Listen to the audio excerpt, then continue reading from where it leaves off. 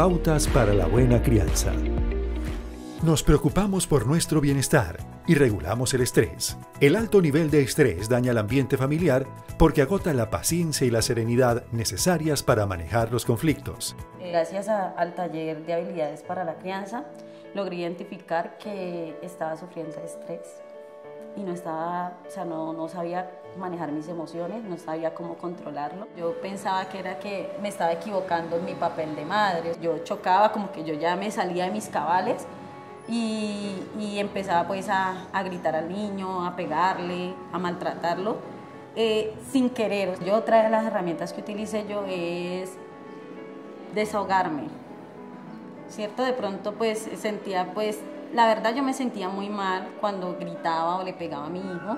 Yo después sentía como ese remordimiento, esa, culpa, ese, ese dolor. Y yo, ah, entonces empecé a buscar como con quién desahogarme, qué era lo que me estaba pasando, qué era lo que me estaba llevando a eso. Y eh, comencé a prever, o sea, ya yo decía, bueno, si a mí me genera estrés porque se me juntan todo este tipo de cosas y es un poco pues difícil de manejar a la vez, entonces empecé a, a, a prever situaciones, a organizar más mi tiempo y, y funcionó. Hoy en día puedo decir que la relación con mi hijo cambió en un 100%.